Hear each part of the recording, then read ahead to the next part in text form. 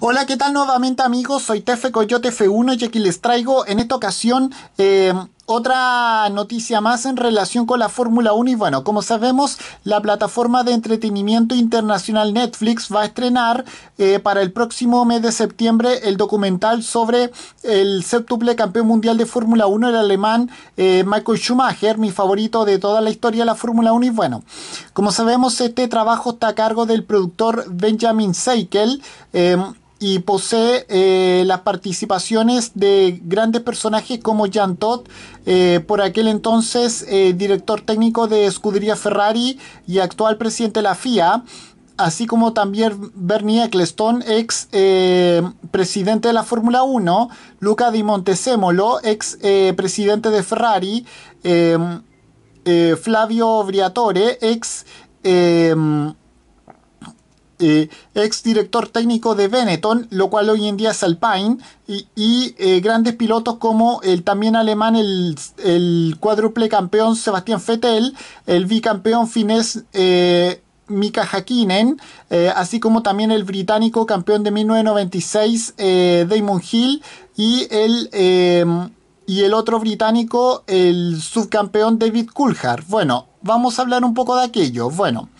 bueno, eh, a mediados del año 2019, es decir, hace ya dos años, la prensa internacional dio cuenta del pronto estreno de un documental llamado Schumacher, el cual abordaría la vida del célebre eh,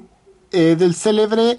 campeón Michael Schumacher, siete veces campeón mundial de Fórmula 1. El tiempo pasó y no obstante no volvieron a tenerse noticia de aquel trabajo.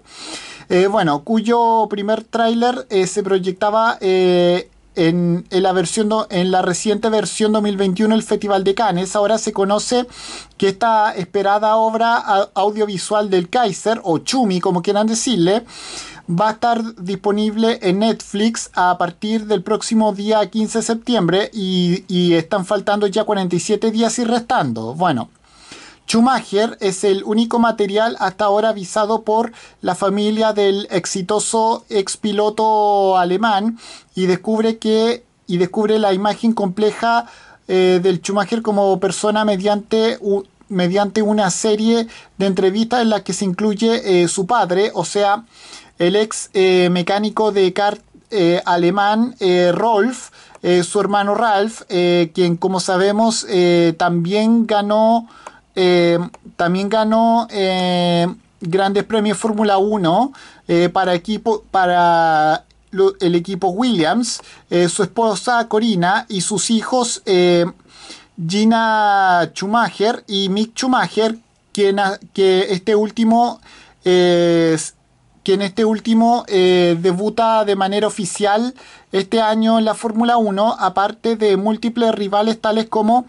como yo ya dije, el británico campeón de 1996, Damon Hill, el escocés eh, David Coulthard y el bicampeón finés eh, Mika Hakkinen. Son parte igualmente en Schumacher, también el expresidente de la,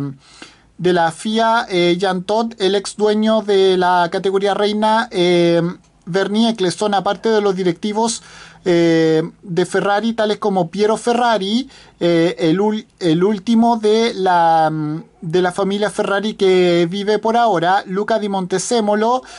eh, también, de también ex de Ferrari, y por supuesto el ex director de la escudería Benetton, la cual como yo ya dije hoy en día es Alpine, Flavio Briatore. bueno, la manager del eh, séptuple campeón mundial, o sea, Sabin Kem, eh, también está envuelta en el trabajo de en el trabajo documental que va a llegar a la pantalla justo 30 años eh, luego del debut de Chumi en la Fórmula 1 a los mandos de una máquina de la escudería Jordan. Y bueno, esto fue lo que dijo al respecto su colaboradora. Michael ha, ha refinido la imagen de un piloto profesional y ha establecido nuevos estándares. En su búsqueda de la perfección no se perdonó errores ni a sí mismo ni a su equipo llevándolos a lo, a los mayores éxitos. Bueno, la familia Schumacher eh, guardó una celosa privacidad del, actual estado del ex eh, corredor profesional y especialmente desde que se accidentó esquiando precisamente en el año 2013 y bueno, y del cual eh, van a ya van a pasar casi 10 años de aquel suceso. Y con esto me despido. Adiós, que me fuera. Chao.